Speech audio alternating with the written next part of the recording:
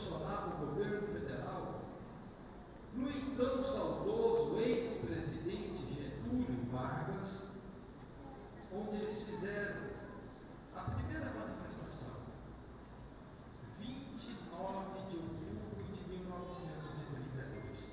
O governador e o presidente da República, porque era Rio de Janeiro, a sua não quiseram receber os manifestantes, até que eles perguntaram. E no dia seguinte, no dia 30, o presidente Getúlio Vargas os recepcionou. E através de um decreto, ele estabeleceu o dia 30 de outubro. Mas até então era um decreto que na linha hierárquica do direito constitucional não supera uma lei. E que de fato só foi reconhecido como verdadeiramente dia no nosso país na lei promulgada pela presidenta Dilma no ano de 2013. Como deputado estadual, eu fui o autor da lei que instituiu a Semana do Comerciário.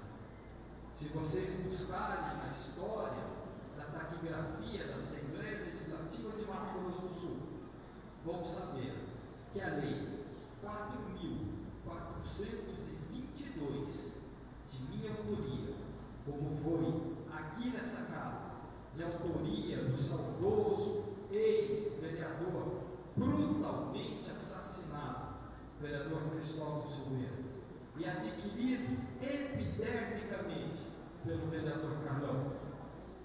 A Lei 4.422, a nível estadual, institui a Semana do Comerciário proposto pelo Marquinhos Trade, à época, deputado estadual. Dizendo que a vocês, que todos os dias sabemos da labuta, da hora de se levantar à hora de deitar. Contem conosco.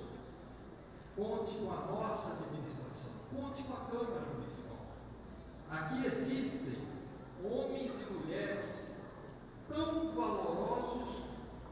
Quanto aqueles que vivem do comércio.